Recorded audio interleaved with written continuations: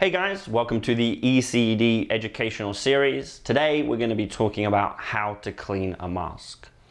I'm not sure if you've ever been on a dive and the mask has been fogging up on you, you know, incessantly throughout and you're pretty sure you've used the right amount of defog and still to no avail you're getting all that fog, ruining your dive. Well, the reason is most likely that you haven't cleaned your mask properly. When a mask is brand new, there is a layer of silicone that's on the inside of the glass lenses that needs to be removed. If you don't remove that silicone, the fog and condensation is going to stick to that no matter how much defogging product you actually choose to use there. So, in order to clean the mask, very simple. You're going to grab some cleaning solution. Your local dive shop should have some mask scrub available for you. If you're in a pinch and that isn't available, toothpaste or soft scrub will also work. You're going to take that cleaning solution and you're going to place it on the inside of the lenses.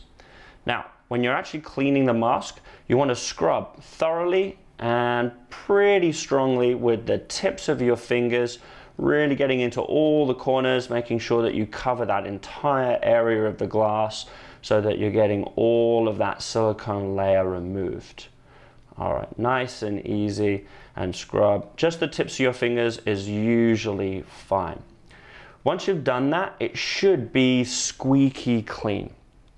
Once you've got that product nice and done and you've cleaned the lens, you're gonna take that mask and you're just gonna rinse it off into a sink or a bucket of water, whatever is available for you.